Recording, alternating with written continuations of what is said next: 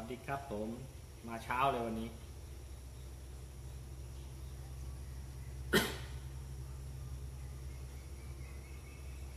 หกโมงสามสิบสองนาทีครับผมวันนี้เช้าวันอังคารครับ สวัสดีครับ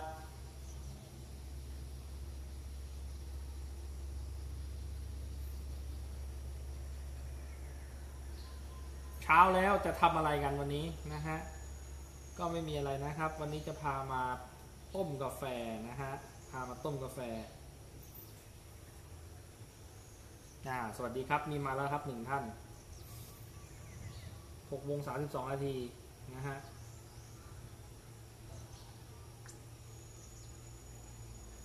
สองท่าน ใครชอบกินกาแฟสดบ้างนะครับ คือ โอเค สวัสดีครับแคมปิ้งทอกับพลพัฒน์ครับผมนะครับ เช้านี้มาเช้าเลยนะ มาเช้า มาเช้าเลย เพราะว่า เช้าเช้าอย่างนี้นะฮะตื่นขึ้นมาสิ่งที่เราจะทำนะฮะก็คือ ต้มกาแฟนะครับออยู่บ้านอยู่ในเมืองนะฮะการหากาแฟสดกินสักแก้วหนึ่งเนี่ยมันเป็นสิ่งที่ไม่ใช่เรื่องยากนะ แต่สำหรับการออกแคมป์เนี่ยเราต้องมีอุปกรณ์นะฮะในการไปต้มกาแฟสดนะครับ ซึ่งก่อนหน้านี้เนี่ยถ้าถ้าท่านที่ติดตามผมเนี่ยนะฮะผมก็จะมีอ่าต้มกาแฟให้ดูละนะฮะแต่ว่าจะเป็นกาอีกรุ่นหนึ่งคือคือรุ่นรุ่นเก่านะฮะเป็นการุ่นเก่า อันนี้ผมได้กามาใหม่เป็นแบบหม้อแรงดันนี่ใครเคยเห็นบ้าง ปกติมันจะเป็นแบบว่ารูสองรูนะฮะ รูสองรูเวลาต้มแล้วมันจะไหลออกตามรู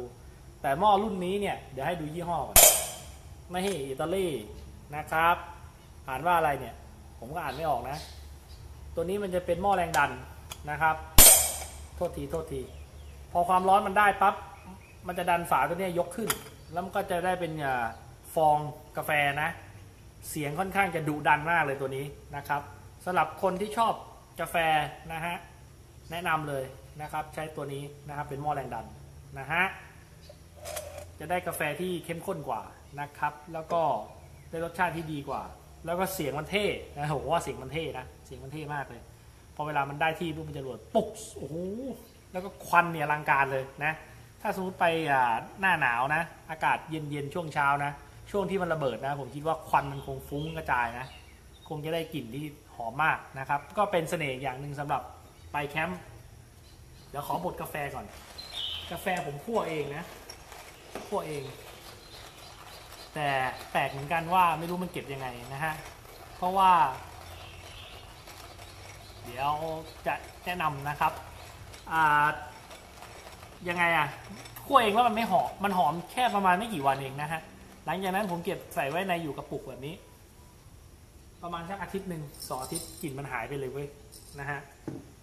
แต่ว่าก็ยังพอใช้ได้สงสัยเนื่องจากว่าอากาศมันน่าจะชื้นมั้งเข้าไปได้มันก็เลยไอ้นี่เดี๋ยวผมบดกาแฟนิดหนึ่งเข้มอ่อนอยู่ที่เรานะ อยู่ที่เราอ่าเรียบร้อย อย่างแรกเลยหม้อแบบนี้นะครับ มันแยกได้สองส่วนนะครับ แยกได้สองส่วนผมแยกออกมาก่อน นี่เห็นไหมข้างล่างนี้จะใส่น้ำนะฮะแล้วตรงกลางนี้จะใส่กาแฟนะครับ วิธีการจริงๆแล้วเขาจะต้องตวงนะฮะเดี๋ยวให้ดู มันจะมีขีดตรงนี้นะฮะเราใส่น้ำเข้าไปนะฮะตรง O2 เราใส่น้ำให้มันเสมอตรงนี้อะเดี๋ยวผมจะลองตวงดูก่อนปกติผมไม่เคยตวงนะผมกะเอา แต่วันนี้มาไลฟ์สดเลยต้องทำให้มันดูมาตรฐานนิดนึงนะครับ ใส่เข้าไปที่ HO2 ตรงนี้ก็คือ หมายความว่าเขาให้ใส่น้ำให้ถึงขีดตรงนั้นอ่าพอเราใส่น้ำเข้าไปเสร็จปั๊บเดี๋ยวสักครู่นะ กดกล้องนิดนึงนี่เห็นไหม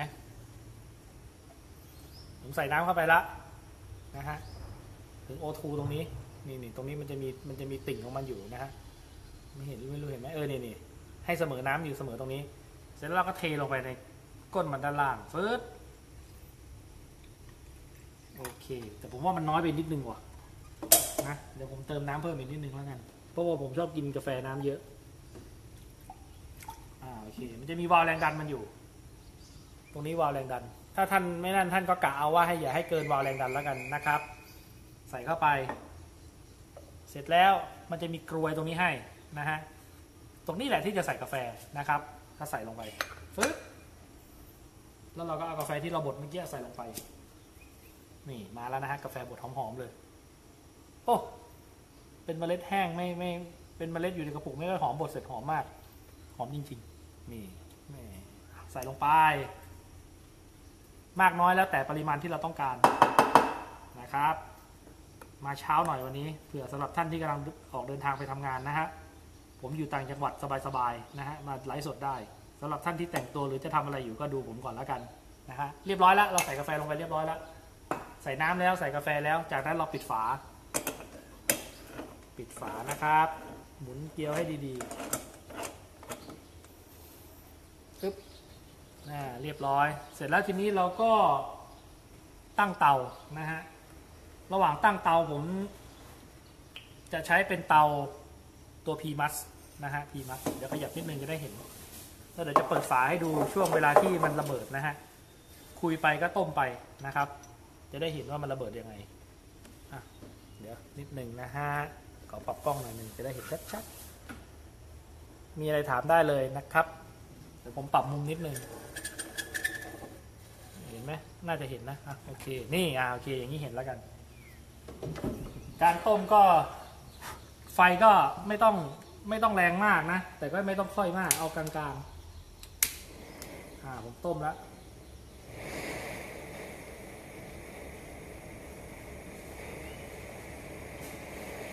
ให้เวลาสักนิดนึงนะครับ เดี๋ยวเราดูรอดูตอนมันระเบิดแล้วกันนะ รอดูมันตอนระเบิดแล้วกันนี่นะไปเรื่อยๆ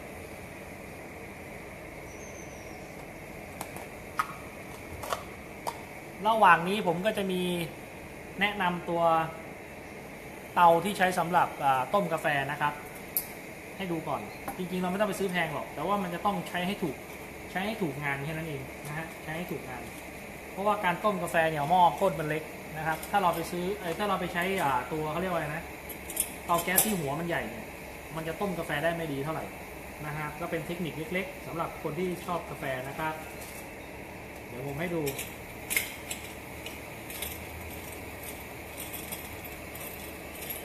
นี่สำหรับท่านที่มีงบประมาณไม่เยอะนะฮะงบประมาณไม่เยอะ ลองหาเตาที่เป็นตัวอย่างนี้ ตัวเล็กๆอย่างนี้เห็นไหมฮะเหมือนกับเป็นเตาเดินป่านี่แหละนะครับ ซึ่งลักษณะไฟแบบนี้เนี่ยมันจะขึ้นเป็นลำตรงกลางเห็นไหมฮะตรงเนี้ยพอเวลามันขึ้นเป็นลำตรงกลางเสร็จปุ๊บปรากฏว่าเวลาเราวางหม้อลงไปนะฮะไฟมันจะอยู่ตะอยู่ตรงก้นหม้อพอดีนะครับ มันจะทำให้เราสามารถที่จะคอนโทรลไฟในการต้มน้ำได้ดีกว่านะครับ ส่วนที่เป็นหัวแบบนี้เนี่ยถามว่าใช้ได้ไหมเนี่ยหัวใหญ่แบบนี้ใช้ได้ไหมใช้ได้นะฮะเพียงแต่ว่า มันอาจจะไฟมันอาจจะไม่ขึ้นตรงก้นมันอาจจะมาขึ้นด้านข้างหม้อนะ มันก็อาจจะ control ไฟได้ไม่ค่อยดีเท่าไหร่นะครับ ตัวนี้ถูกเลยเดี๋ยวนี้นะ200กว่าบาทก็ซื้อได้แล้ว เป็นหัวเตาแก๊สซาลาเปานะครับนะฮะเผลอๆดีกว่าเตาพีพีมัดที่ผมใช้อยู่นะครับ มีสองแบบ นี่สำนี่ยังกับแก๊สปิกนิกเลยนะฮะไอตัวนี้เป็นแก๊สตัวเล็กอะระหว่างนี้เราก็รอไป มันจะระเบิดไหมเดี๋ยวดูก่อน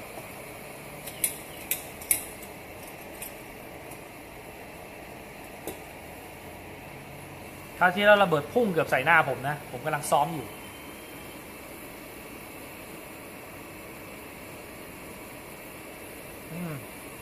เริ่มมาแล้วมีน้ำออกมาบ้างแล้วนี่มาแล้ว เห็นยัง